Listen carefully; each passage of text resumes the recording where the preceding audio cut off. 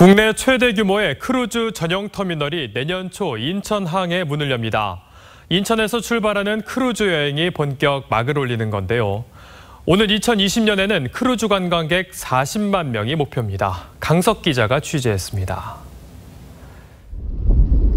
인천 신항에 건설 중인 크루즈 전용 터미널입니다.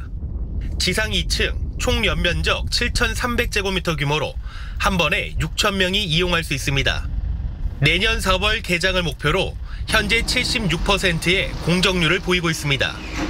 터미널이 완공되면 세계에서 가장 큰 23만 톤 규모의 초대형 크루즈선이 접안할 수 있습니다. 크루즈 터미널은 평균 10m 안팎의 조수차가 나는 인천 앞바다 특성을 고려해 시설을 갖췄습니다. 그 인천 항만 조수 간만의 차인 10m를 고려하여 크루즈선이 언제든지 정박하여 승하선을 할 수 있도록 인천항만공사는 터미널 개장에 맞춰 인천에서 출발하는 크루즈선 운항을 확정했습니다. 승객과 승무원 1,400여 명을 태운 11만 톤급 코스타 세레나호가 내년 4월과 10월 인천항을 출항합니다. 인천항만공사는 이 크루즈를 시작으로 매년 120회 이상 크루즈선을 유치할 계획입니다.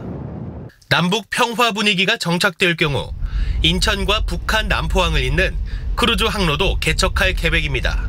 남북 관계의 어, 개선이 될 경우에 어, 북한과 연계한 어, 환 황해권의 어, 크루즈 관광 벨트의 중심이 될 것으로 보여집니다.